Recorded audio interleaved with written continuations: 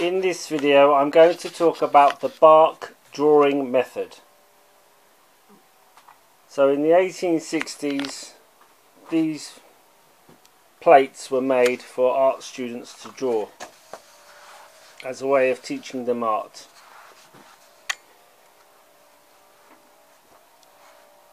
Now every atelier, classical atelier is, is teaching this kind of stuff and also on the internet you have lots of these artists telling you to that this is the way to replicate what the old masters did. What I'm going to say in this video is that while there's no harm in copying them and there are lessons to be learned like the grouping of, of the shadow tones and the light that copying Bargue plates with the method they teach you in these uh, these ateliers is not going to make you a, a great artist or painter. It's not going to make you paint like the old masters. You cannot paint like the old masters. You can only paint like yourself. And the thing about painting and drawing is that you have to do it yourself. You have to go through the the work yourself. You have to see it yourself. And so what what a good teacher does is that they make you see it so that you can express it. My, this is my problem with these ateliers and with this internet trend of copying Bargue plates. If you want to copy Bargue plates like this, draw them freehand. Do not use these silly measuring tools to draw it out because as an artist you do not want a, a crutch to lean on. You don't want to create crutch type paintings. What you want to do is you want to go to the sculpture yourself and draw the sculpture and try to understand the form and your expression of when you are looking at it. So drawing is not about copying. This is the big thing that that people are being badly taught is that drawing is not copying, drawing is translating. You are translating from the three dimensions to the two dimensions. You're not copying the two dimensions to the two dimensions.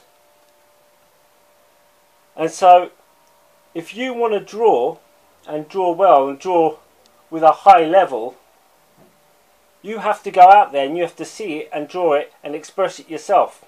And you have to see the form values for yourself. The weakness about painting and drawing today is that people are trying to copy what they see rather than express what they see. So they think that painting is an illusion when and that the point of doing a drawing is to create an illusion and this is what they're doing wrong in these ateliers. In these ateliers they are giving you the misconception that drawing is is replic replicating an illusion. It is not. Drawing is about understanding, translating and then expressing what you see and what you think. It is not about copying. And that aspect, which I've just explained, is the structure in which the artist needs to think when they draw. That is drawing. That is the great difficulty of drawing. That you are you are comprehending what you are looking at. You're not copying what you're looking at. So to think that you can draw the Bargue plates and then think that this is old master drawing is, is nonsense. There's no harm in copying it as long as it teaches you to see. The whole point of, of art education should be to teach you how to see and, and how to express what you think. It's not copying and it's not about creating an illusion. The point of drawing is not creating the illusion. The point of drawing is actually truth. To draw a truth as, as you express it and experience it. It's not copying. It's not an illusionistic contest. And a lot of these illusionistic uh, painters on the internet, they'll do it all from photographs. And even the ones that are doing from life are miscomprehending what painting is and their paintings look flat because they think that painting is purely a process of copying an optical illusion. It's not. It's about comprehending far more like form, values, distance, weight, space, what you feel at the time, what you expressively feel. It's not about copying, it's not about um, kind of a dot to dot way of, of painting and drawing. So they're misunderstanding what drawing is through the teaching of these these Bargue plates. And on top of that, they they teach it with a pomposity which is ludicrous because it's not going to make you a great artist. This is a drawing by Lucian Freud. He did not go through the Bargue method. And this is a much stronger drawing than any of the drawings you see in these ateliers. It's far stronger because it's far more truthful. It's coming from him, his own eyes, his own experience. He's looking at it for himself. He's exploring the form. That's what makes it exciting, that he's he's actually expressing what he is seeing and he can communicate this. It is not about copying. It is out it is about expressing what you think and what you see. And what you what tends to happen when you're drawing well is that you express form values, so the structure of things. How they how how the head is actually a structure and how you're manipulating space. You are converting the three dimensions into the two dimensions. You're not copying, you are translating, you are comprehending, you are expressing. That's the difficulty in painting and drawing, and that's why it's so difficult to do. It's not copying, it's not copying a method, it is not who creates the most convincing photographic illusion. No, it is about conveying the experience of looking and thinking and comprehending and then expressing. And that's why it's such a difficult thing to do. And it comes from your experience of it. So let's look at Sargent's drawings. So Sargent is like the go-to painter of these ateliers and they don't understand his, his work. So if I show you a Sargent, this is not a, this is not the uh, the um, that kind of copying they do at these ateliers.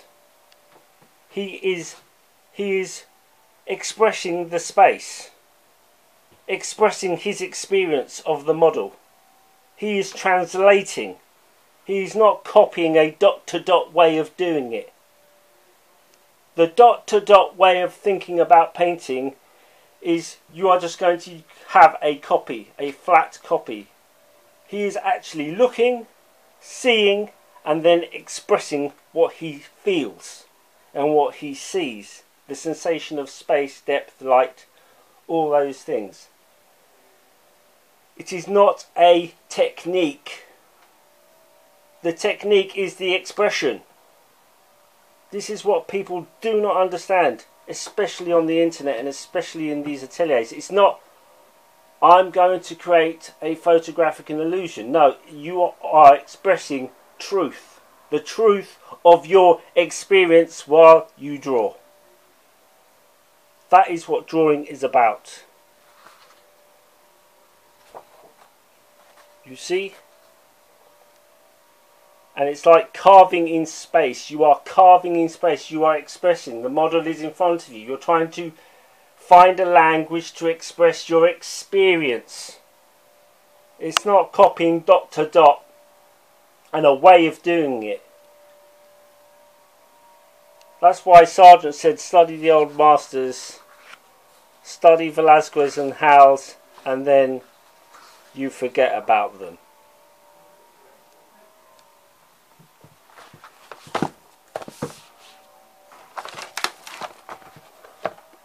So you can see in this Degas how the drawing, how he's using the drawing to sculpt the figure, to sculpt the painting. It's not copying. He's expressing what he's feeling, what he's seeing, what he's thinking. You can see the form of the head there. It is all about structure. It's not this kind of right way of illusionistic copying, which, which, uh, which aims to be which has the total wrong intentions about what what actually drawing and painting is. Drawing and painting is about your ex your experience of what you're looking at and how you sculpt that, how you how you move the the parts around, how you express the form. It is a living experience, not an experience of copying of this is how you do it. This method, that method. No, it's about what you express, what you feel, what you think, what you comprehend, and the translation of the of the three dimensions into the two dimensions. A process of translation and of thought. So there is no easy way to draw the old masters. That is what I'm telling you. The, true way is the hard work way, is the way of drawing yourself, expressing it for yourself, and seeing it for yourself. And a good teacher sees you, teaches you how to look, not a method of how to do it.